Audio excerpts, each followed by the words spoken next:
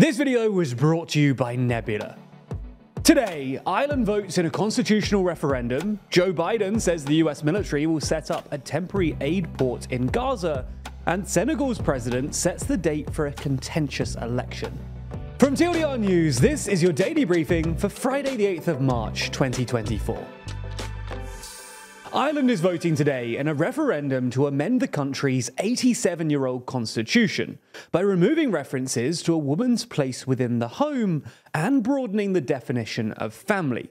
The government has described the current constitutional language as outdated, with wording that no longer reflects modern life. Specifically, voters are responding to two questions.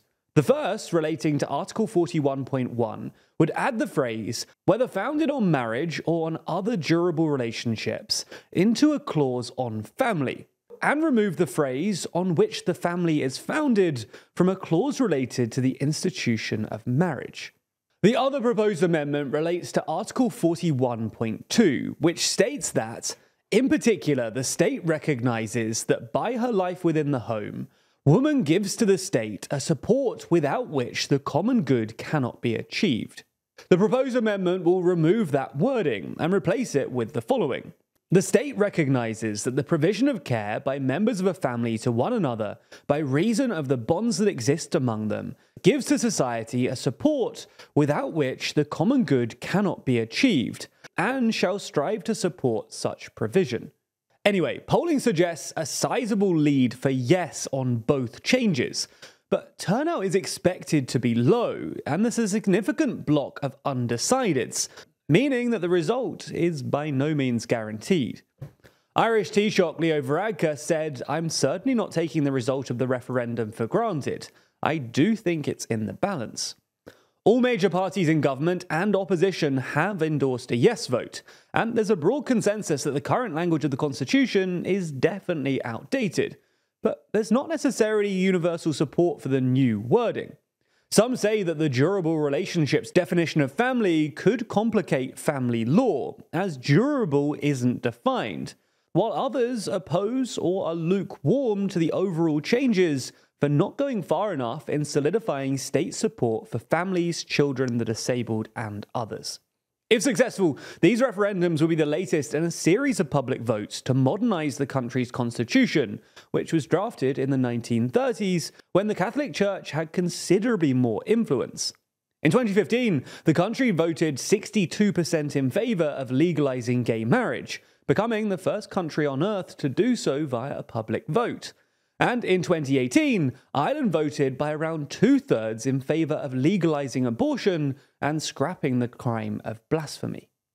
Now, there's more on the way, but be sure to subscribe and ring the bell to make the daily briefing part of your daily routine. Or just search for us in your podcast app of choice to listen along. With crucial European parliamentary elections fast approaching, EU leaders have begun campaigning.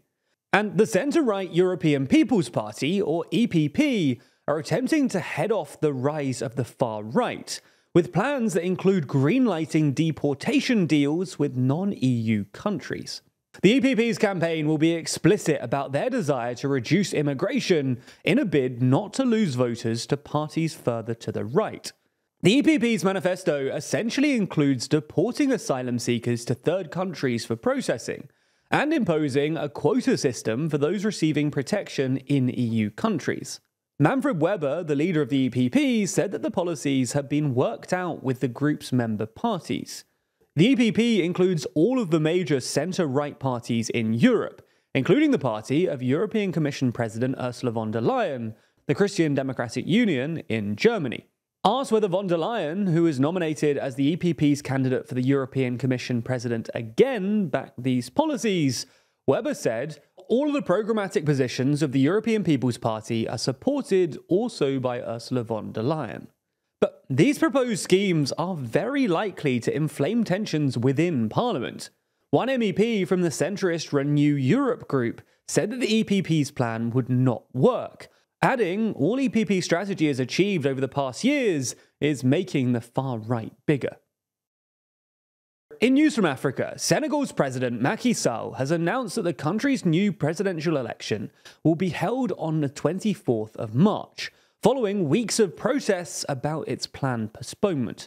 It comes after Sall threatened to delay the vote by 10 months back in early February, which triggered widespread social unrest and led to concerns about democratic backsliding. Senegalese politics has been pretty chaotic recently, since the move to push the election to December sparked violence and led to an emergency ECOWAS meeting. On Wednesday this week, though, Sall dissolved his government, replacing Prime Minister Amadou Ba with Interior Minister Sidiki Kaba, so that Ba, who is the ruling coalition's presidential candidate, could focus on his electoral campaign.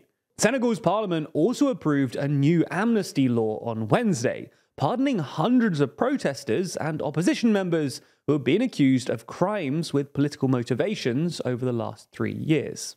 This amnesty bill also means that the popular opposition candidate, Ousmane Sonko, could be released from prison. Although he isn't on a list of eligible candidates, so he can't actually run for office anyway. Sall's announcement of the election date leaves just two weeks for candidates to rally support now, and means that for the first time, campaigning will take place during the holy month of Ramadan, when many Muslims in Senegal will be fasting. Next up, US President Joe Biden has announced that the United States military will set up a temporary port on the coast of Gaza to facilitate the delivery of much needed humanitarian aid to Palestinians in the Strip. This comes as the Biden administration makes clear that Israel must allow a faster and greater flow of aid into Gaza by road, and follows warnings of widespread famine. This had also prompted the US into airdropping assistance into Gaza as efforts to push Israel to change course remained unsuccessful. Biden said that he was directing the US military to lead an emergency mission to establish a temporary pier in the Mediterranean on the Gaza coast that can receive large ships carrying food, water, medicine, and temporary shelters, adding that no US boots will be on the ground. Now, this will take a number of weeks to set up, and the initial shipments are expected to come via Cyprus.